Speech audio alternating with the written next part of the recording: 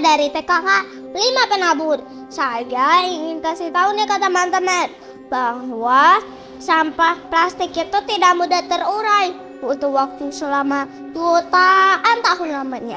Saat ini sampah plastik jumlahnya sudah banyak di bumi. Itu berbahaya loh teman-teman bisa mencemari tanah, laut, sehingga bisa menyebabkan kerusakan ekologis, menyebabkannya banjir, dan membuat penyakit. Nah, untuk menjaga bumi kita tetap sehat dan kita baik-baik saja, maka dari itu kali ini aku mau kasih tahu nih ke teman-teman untuk mengurangi sampah plastik dengan cara membuat tempat pensil lucu.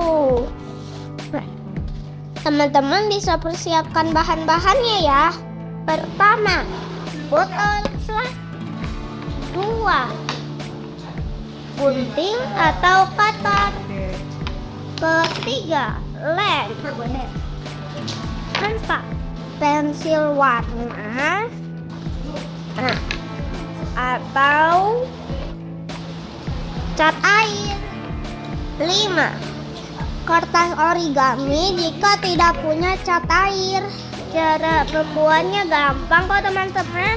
Teman-teman bisa ikuti ya. Pertama-tama bersihkan botol sampai bersih. Kedua, gunting botol sesuai keinginan teman-teman. Ketiga, teman-teman bisa sesuai bisa hias sesuai keinginan teman-teman. Nah, jadi deh tempat pensil lucunya. Gampang kan teman-teman? Yuk teman-teman kita jaga bumi kita. Ini dari sampah plastik. Terima kasih teman-teman sudah mengikuti kegiatan ini. Dadah. Tuhan Yesus memberkati. Bye.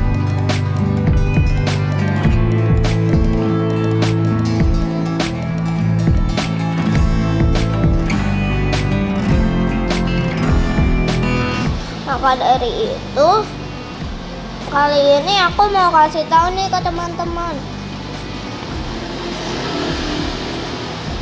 Cara